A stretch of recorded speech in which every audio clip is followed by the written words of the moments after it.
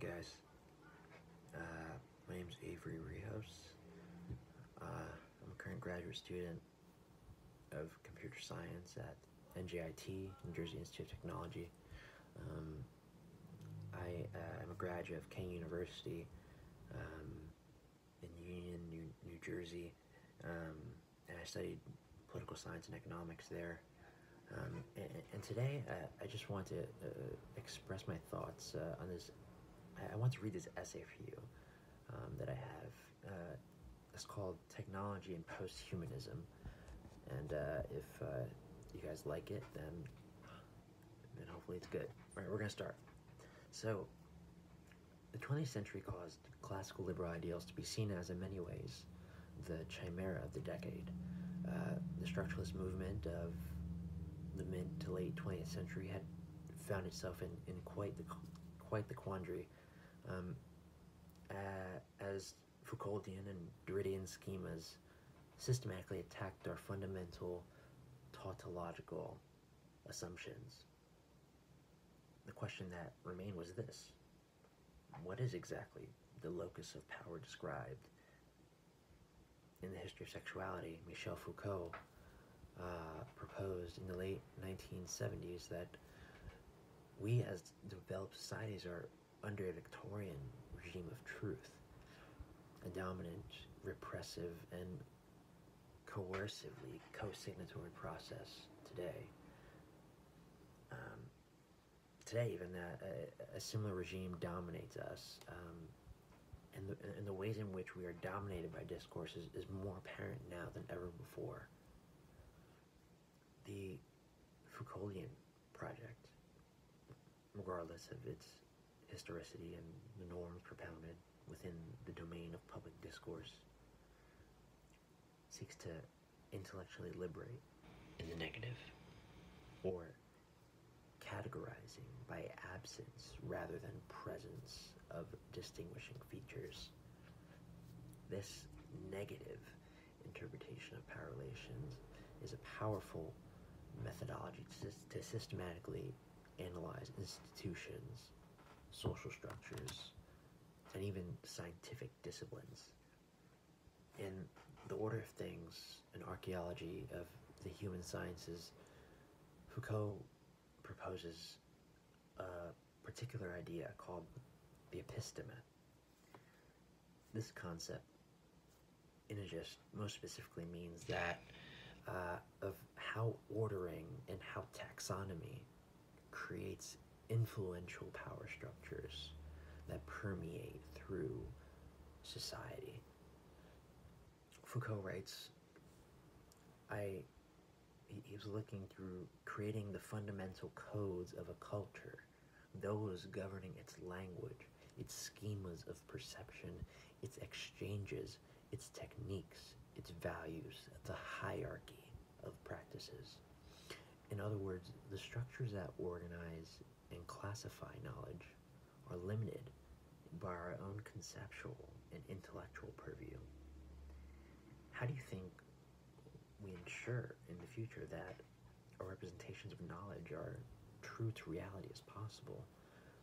How may we best direct our collective energy and labor as a society in order to fundamentally transform it in radical ways. How can we best move forward, move scientific progress forward, if we do not question our fundamental philosophical assumptions? Today, for example, the, the modern assumption in consumer society is that financial freedom is, in, in fact, a type of freedom. But what if this freedom was not a type of freedom at all? What if the act of participating in the market economy to become financially liberated, in fact, fetters one with iron shackles? As an introduction to my thought, I will explain the following. During my university studies, I've understood the realm of the realm of ideas and intellectual history in order to come to be able to create new meaning or change in our current institutional hegemonies at a, a fundamental level. Initially, I'd been swayed by the persuasive power of literature, um, precisely because literature mirrors our innermost humanity. Uh, I had delved into Nabokov, Faulkner, Hemingway, Mishima, George Eliot, uh, so many, so many great artists, and even so many modern ones. Uh,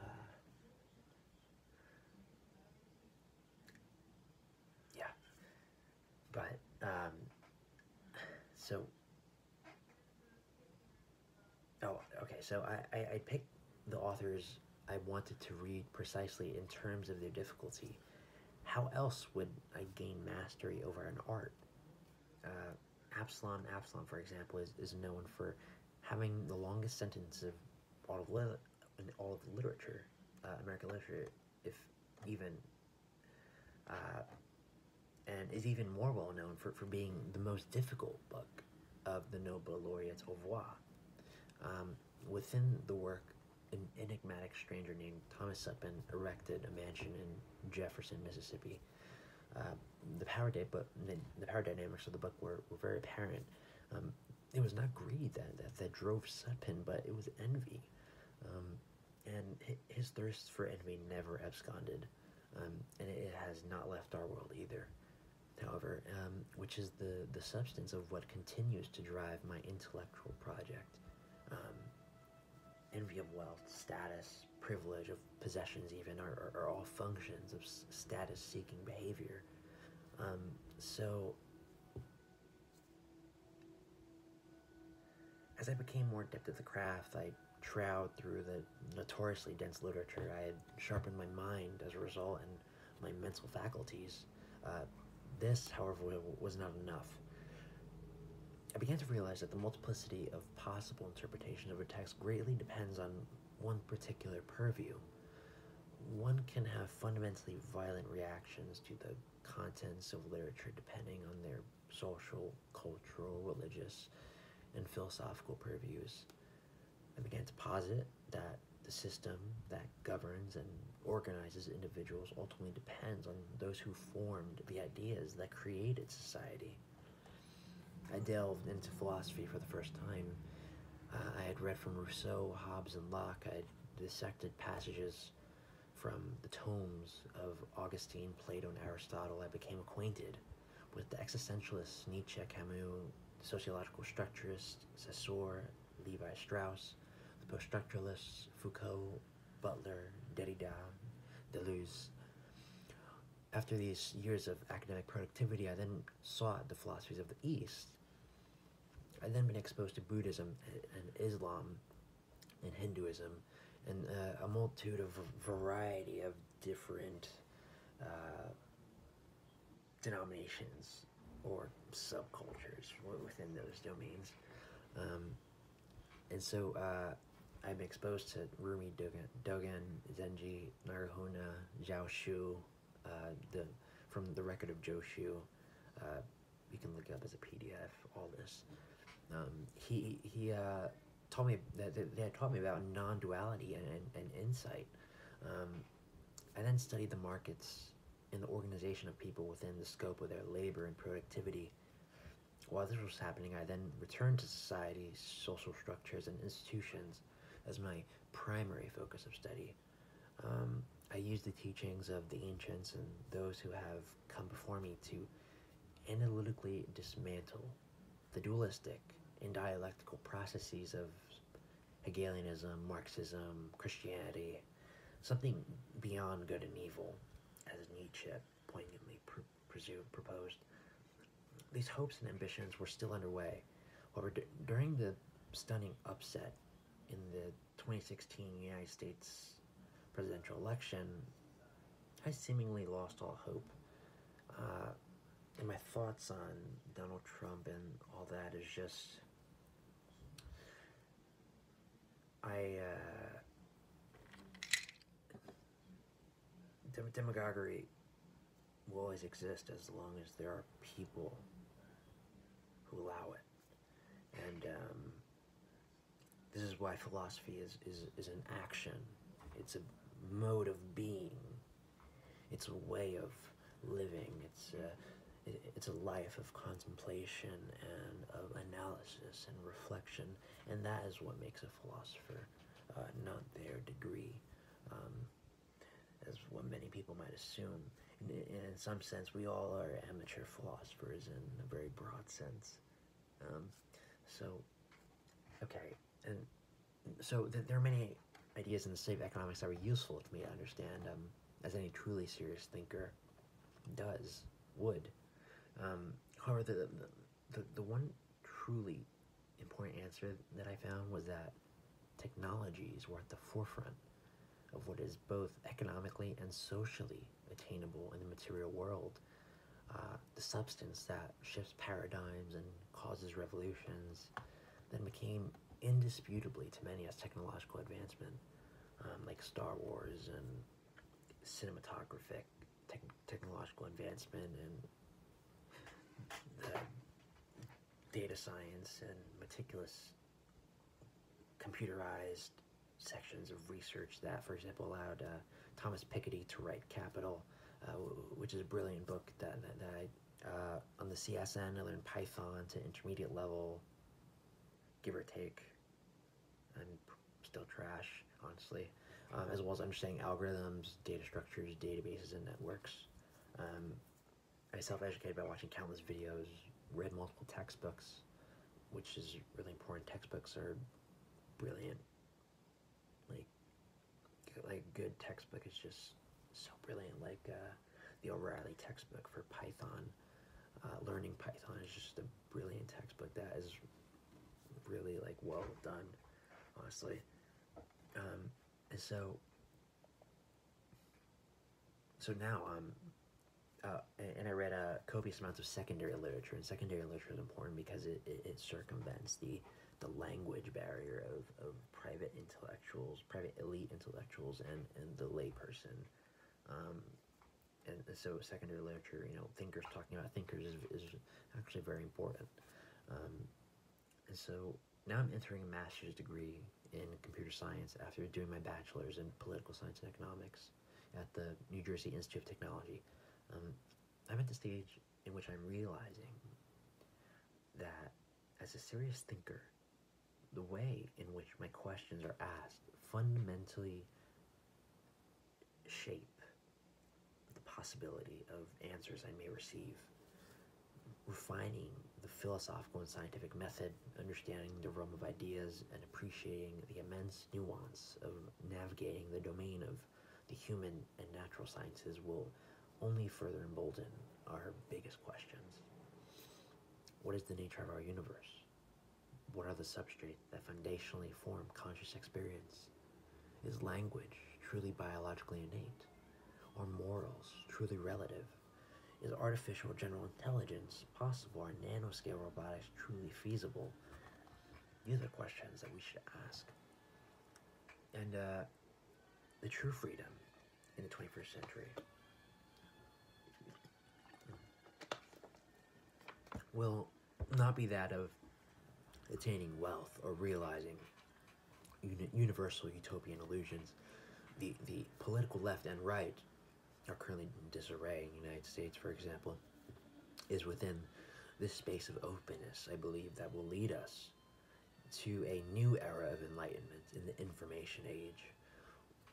With the decline in our faith in the perfectibility of institutions, our political and economic discourses have been dismantled. Our assumptions of the world and the taxonomies in which the organized fields and disciplines of knowledge remain uh, ba- remain bare. Our grand meta narratives of history have been washed away. Many of the seemingly invisible the seemingly invisible power relations throughout history have been brought to fruition in the public discourse. With seemingly limitless information and billions of data points to systematically analyze the question. The question of the 21st century is not what will we build, but why? Why should we build it? And what will be its consequences, both materially and metaphysically? How can we feel more human in a world of rationally explained mechanistic systems? What is beyond our deterministic subjectification of ourselves? What are our new ethics for the 21st century in a world of artificial, a world where artificial intelligence and gene editing exist? why have our technologies and systems of knowledge have extended so far beyond the more nuanced concerns of daily reality? Um, we have been thrusted into the throes of posthumanism without even realizing it. The current coronavirus pandemic has massively accelerated the control structures of the elite technology corporations. This new era of the information age then seems to be the, the death of the individual, of both man and woman, uh, not as a species, not even as a species or rational being, neither of, of, of the man as an object or a thing of nature, but precisely man of a purely academic and intellectual sense, an individual of a purely liberal sense, perhaps more specifically the, the classical liberal sense of intellectualism. Um, roughly, for example, in the United States, 75% of all academic professorships at nonprofit and for-profit universities in the United States, for example, are currently not tenure track, a distinction that enables academics to talk more freely about their thoughts and interests about without fear of prosecution or in, instability.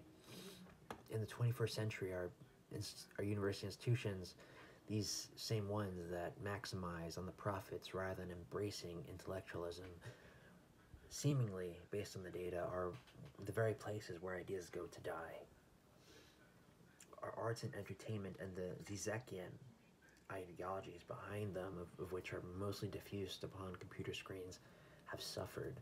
Uh, many among us would, would, would look upon these devices more than spend a night's in with an ancient tome of wisdom. Historically, as we go through intellectual history, a thinker such as Foucault revealed to us the way our societies discipline us, uh, internalize those mechanisms of discipline, and create a hegemony of culture uh, thinkers like Chomsky have laid out to how our consent is ultimately manufactured. Uh, the great right-wing libertarian theories have ended exam argument the argument of what a rational agent in the economy should look should look like or be. Um, advancements by Peter Thaler and nudge theory have greatly challenged the use case of the rational agent in analytical ends. Uh, now, as we live in what I feel is a, a control society, um, we may finally understand that there, there's no way out other than radical revolution or one where one in which one would want to be free from the fetters of the information age and its tenets that are doubly propounded by financial institutions, governments, and technology institutions.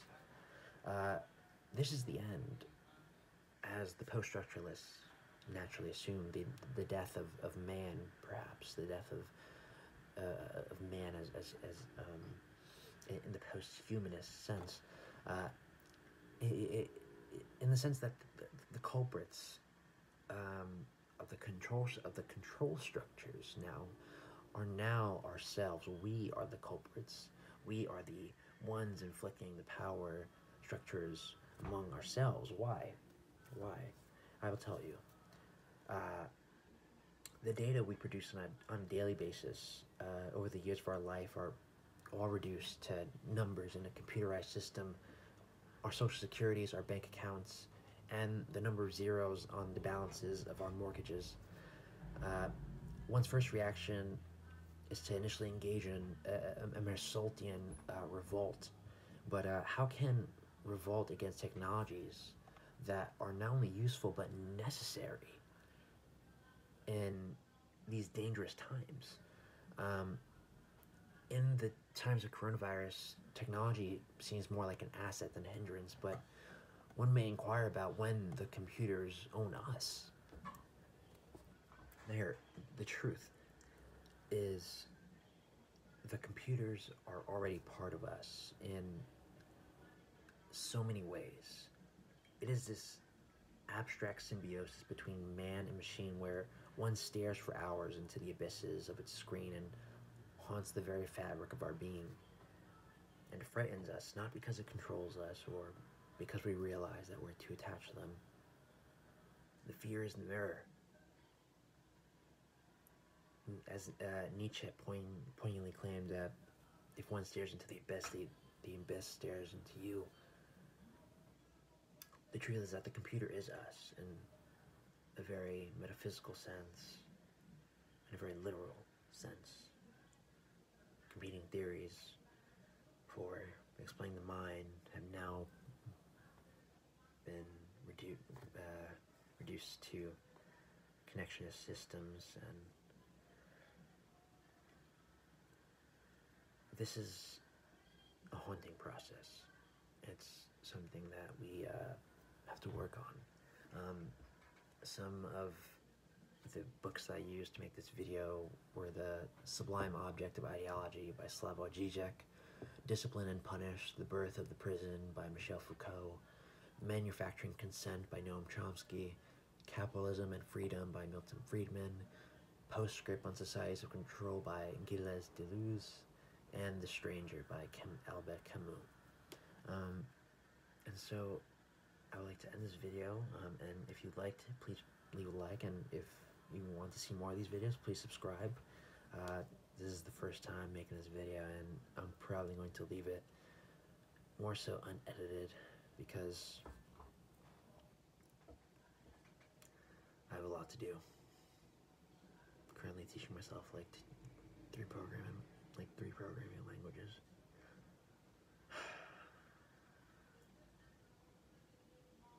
Good night. Also, if you want to um, read more about things that I am saying or things I'm doing, um, check out my blog. Um, I uh, the, the essay that I, I, I spoke out was maybe two blog posts. So yeah, but there's a lot of different content on there that you can still watch. So thank you.